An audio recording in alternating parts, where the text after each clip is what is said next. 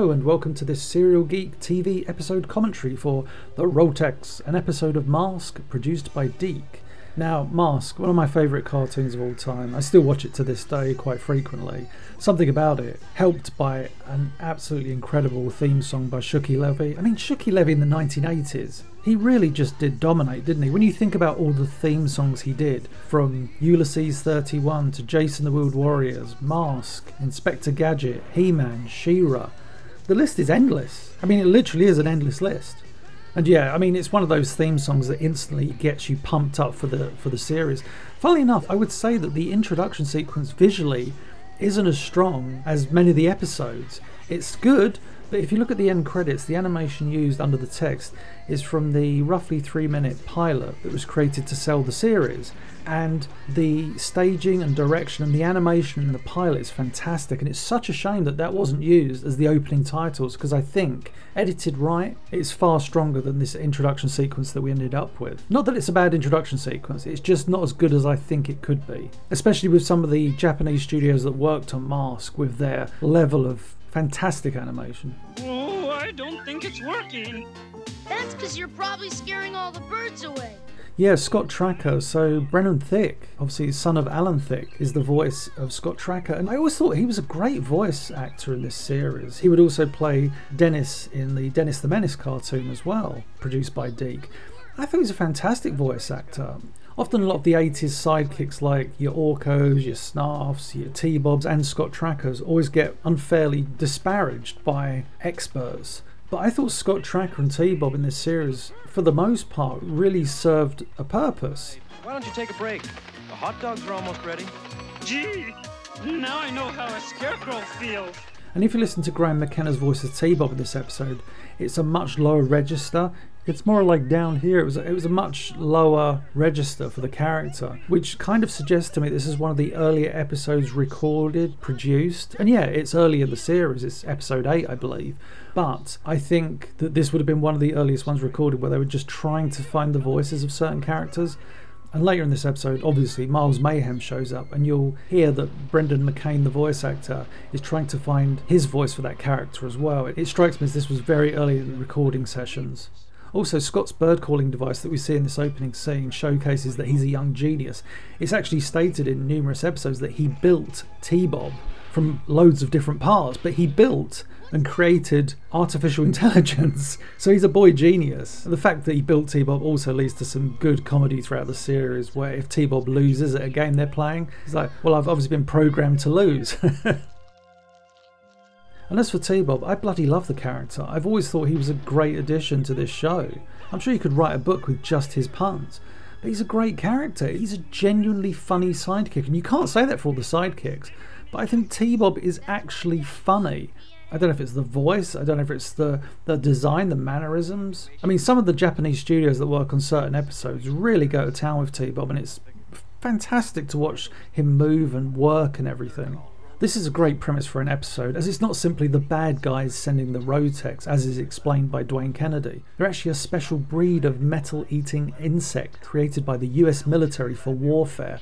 However, as we see in the real world, a weapon was misplaced and ended up in the hands of the bad guys. It's, it's a great idea for a plot, Mask episodes always had really decent plots. There was always conspiracies, and it wasn't just like, we've got this, we need to get this back, or someone's been kidnapped. It was Mask was never about that. It was always about Venom were a terrorist organization trying to gain power, whether it be in this country or that country or that government or this. There was a lot of political ambition going on with Venom as well. It, it was so fantastic.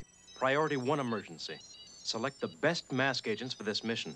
Confirmed. In these early episodes, the computer would often summon pretty much all of the mask agents, but as the first season progressed and new characters were introduced, the reliance on a large group dwindled until, on occasion, the computer would select two mask agents, and one of those was like Bruce Sato, who was sat next to him in the passenger seat. So, yeah, the idea of a computer display with such advanced graphics as well. The presentation of this one is actually a little different to most summoning of mask agent sequences where we see a grid on the screen. Often it's just a blank screen with the computer generated imagery.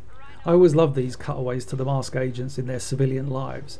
Some of the beautifully animated episodes have some wonderful, wonderful sequences. There's one with Gloria Baker in a race. It's so good. I mean, the animation of that is almost like the best in the episode, and it's just a cutaway, but it's so, so good. Uh, excuse me.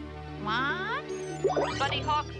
This cutaway to Matt is interesting, why he's sat summoning Buddy Hawks. It always makes me smile because it breaks up the cyclical nature of this scene, where it's one agent after the other. We kind of get this the camera pulls back and we see Matt at his computer summoning the agents. I always remember I knew I was getting old when I saw in the uh, Mask UK annual published by Grandreams. I'd owned it as a kid, I picked it up many years later, probably in my early 30s. I knew I was getting old when Matt Trakker's profile said that he was 28 years old. I was like, 28, and he's the leader of Mask. I think at 28 years old, I barely accomplished anything. Oh, it's funny. Go back and look at that shot of them all around the table. Matt Trakker is in his Spectrum uniform, but he's painted as if he's wearing his Ultra Flash gear. That's why we're bringing these plastic boxes along to contain them. Yeah, well, you're the animal nut, Alex, not me. The funny thing about this episode is that to look at, it's visually strong. I remember it being in one of the Panini sticker albums, I think the one to the European markets. And individually, when you see these shots, great looking episode. But not all the animation throughout is particularly good. There is, of course, one outstanding scene in this episode, but we'll get to that later on. You know, as a writer for this cartoon, I'm sure you had to be slightly skilled in the way you wrote the script, specifically with regards to the selection of the mask agents you had chosen. Of course, I'm sure the writers would plan in advance, but a mistake in character selection could take away the threat of any perils they may face. Think about it, you could never really put the heroes in any danger like a spiked wall of death, because so and so's mask, Buddy Hawks for example, could enable them to all walk through that spiked wall. Actually, that said, I'm sure if we were to look at all the perilous situations that the mask agents find themselves in, we'd probably find numerous examples of a mask agent not using their mask's abilities in situations in which they absolutely could and should do. Shuki Levy's music is just so. It just sets the mood so perfectly. Yeah, Buggy, Buggy, Buggy. I got a nice piece of aluminum for you. I'm starting to feel like a fool doing this. I always love these these scenes of the highly trained, accomplished mask agents looking for insects. and it, there's a great moment coming up here when Alex Sector is about to make a, a declaration to his fellow agents. We see Bruce Sato in the foreground. The camera just zooms into Alex. Boosh! Look at that, straight in. Gentlemen, we have met the enemy. We're on our way. Um, but yeah, Matt, Matt Trakker's about to find out that uh, Thunderhawk may have been compromised by the Roteks. I mentioned before that the animation seems to be a mix of both really good and somewhat average throughout this episode. In this sequence here, in which Matt Trakker and Thunderhawk plummet to the ground, be sure to look at the use of angles, especially here. That's a great low angle. There are some really lovely shots that enable the scene to flow. Bizarre fact, when I was a kid, and actually for quite a long time after, I assumed that the Roteks were made of metal themselves, like little evil robotic bugs, somehow forgetting that this would mean that the Roteks would eat one another. So far, we've got 10 of the little blighters. I love this shot. The way you'll see Buddy Hawks resting his arm with his hand on his chin, and Hondo just holds up the steering wheel, like, oh.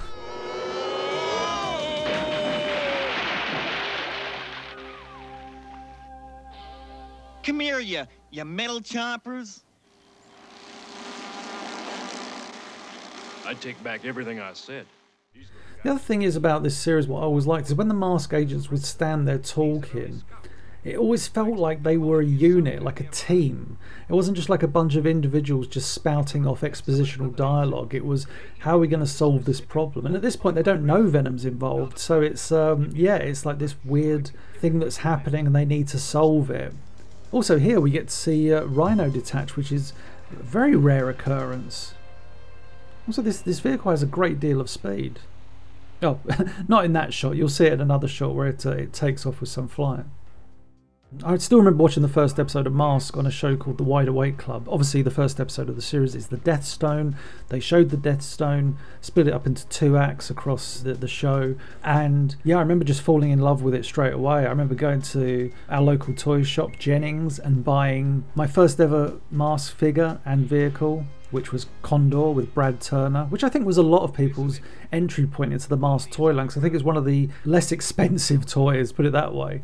And my dear friend from my youth, Roger Evans, he would come round on a Saturday, every Saturday without fail, and we would sit there. He would bring his mask toys round. He had Bruno Sheppard and Scorpion before me. It was like, wow.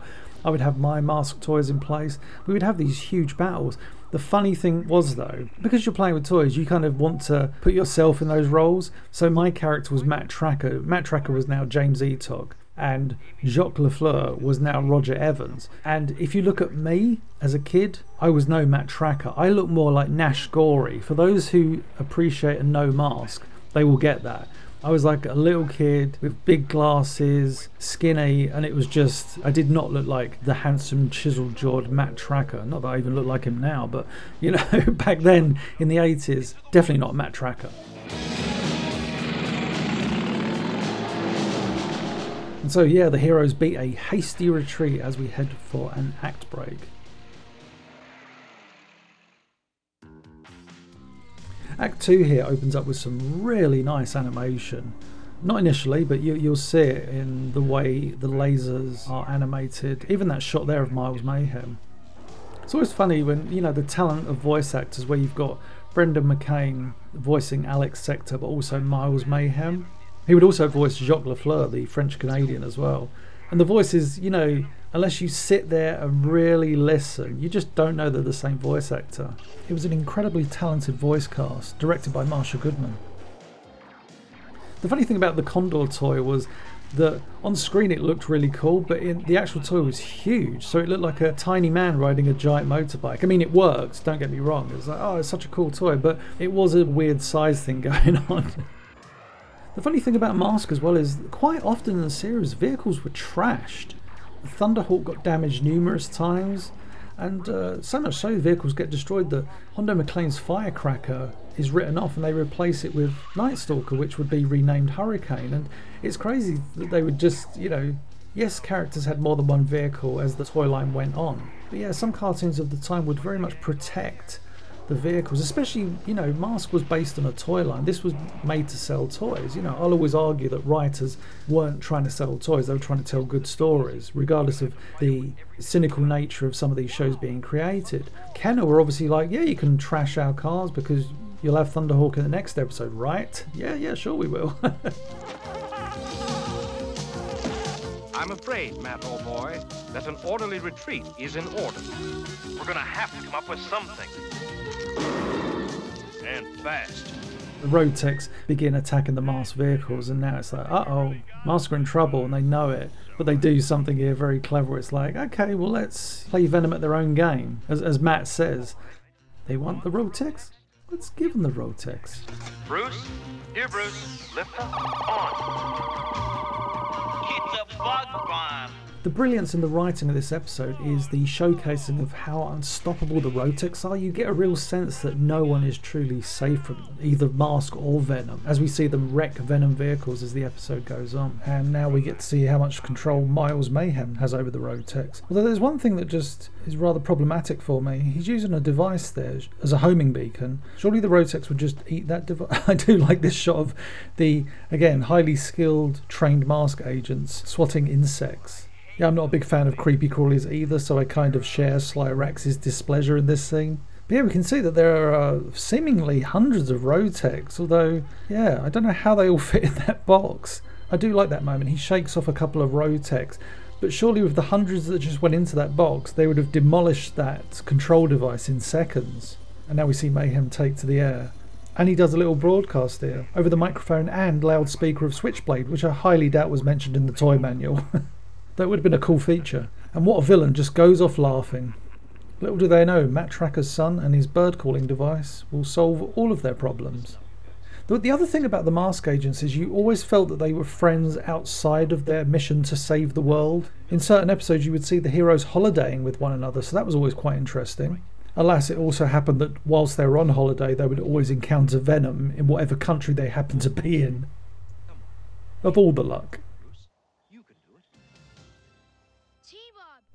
Here we see Scott Trakker has the playroom of a rich kid. that's, that's huge. He's got a pool table, he's got everything. There's a great shot coming up you'll see of Matt Trakker and Alex Sector just sitting talking. The way they're illustrated looks very real. Again, like I said before, it just it feels it doesn't feel like expositional. It's characters trying to figure out how to solve the problem. The trick is in finding the same frequency Mayhem's using to control them. Just very real, very real body language as well. Very real body language in this shot. Although Matt Trakker's uniform is incorrectly coloured in places there, unfortunately. Well, Matt, he's either going to get it or fly, or blow us all up.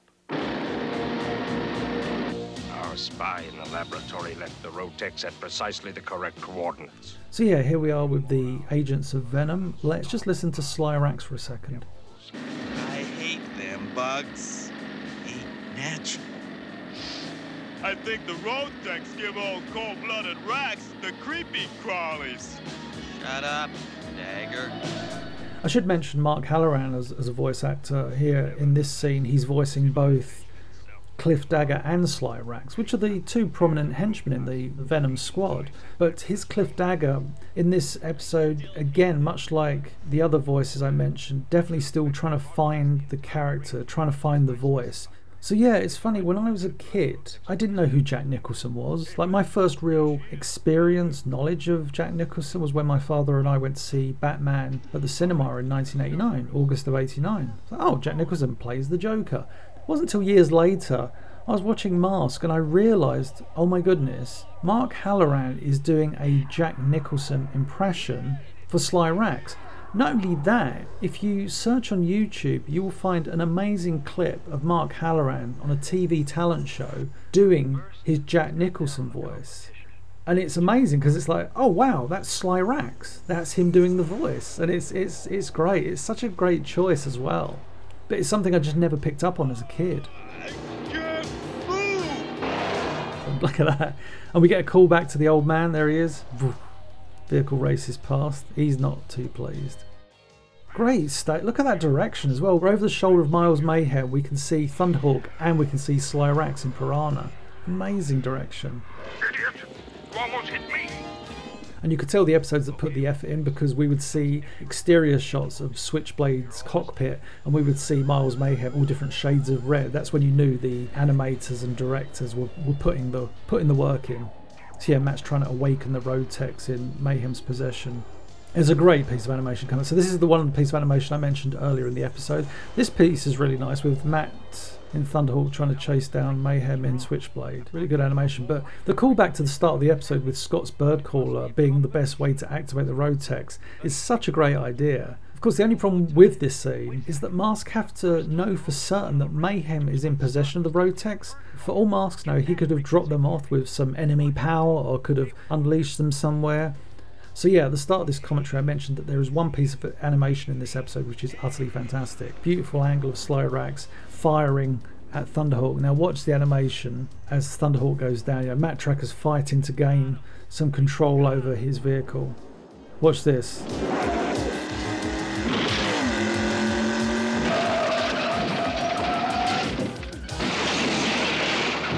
I love the way the camera just keeps pulling away as well. It's such great animation because that's all cell based. There may be a few looped sequences there of the mountains going by, but for the most part, each of those frames is unique and it's just a fantastic piece of animation. It's so detailed and so it has real weight to it. You get a sense that Thunderhawk is on this crash and burn run, and then it, when it flips at the end, you're like, oh my goodness.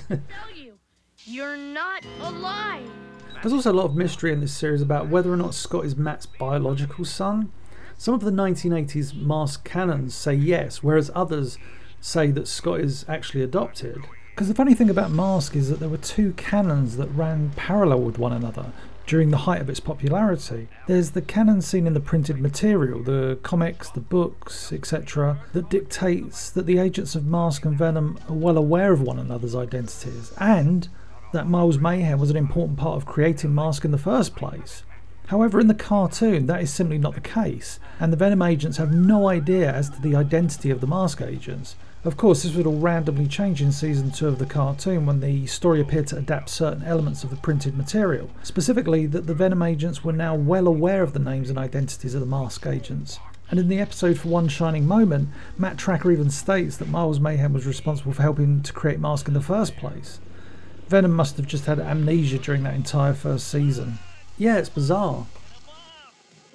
I like the way Switchblade like comically crashes here and Mayhem just runs out like he wasn't injured in the slightest. Actually, that is one thing that would happen as the first season went on.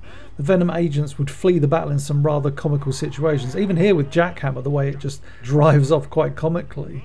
My favourite being from the end of the episode The Manakara Giant, with Miles Mayhem and Vanessa Warfield casually flying through the air with not a single scratch on them, even though they've just been involved in a huge explosion. Yeah, another thing, you know, I talked earlier about the vehicles being destroyed in numerous episodes. Here we see Matt Trakker's Spectrum mask seemingly destroyed forever until they build another one just in time for the next episode, I'm sure.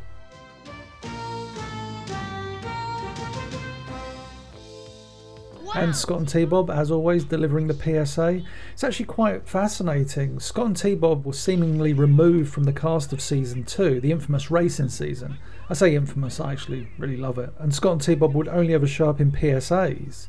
And even then, briefly, from what my computer brain remembers, T-Bob doesn't even utter a word in any of those PSAs. So, another weird thing about the season two PSAs were the inclusion of villains delivering PSAs. But yeah, go through Zen credits. There's some fantastic names that at some point I need to break down and explore with, with you guys on this channel. And yes, that is Chuck Lorre's name in the end credits. For those that don't know, Chuck Lorre wrote the theme song to Ninja Turtles, but I think that's widely known in pop culture these days. So yeah, I mentioned before that when Mask initially aired in the UK, it was shown on the Wide Awake Club, and because of time restrictions, they would never show the PSAs or the end credits. So it wasn't until I purchased an official Mask VHS release that I actually saw the end credits. Also in the UK, we had two VHS releases Mask the Movie 1 and Mask the Movie 2. I'll talk about those in another video at some point. And that's the end of this commentary. I hope you enjoyed. If you did, please like, share, and subscribe, and I'll catch you on the next one. Oh, and before I finish, one more message T Bob is awesome. Let it be said. T Bob rules.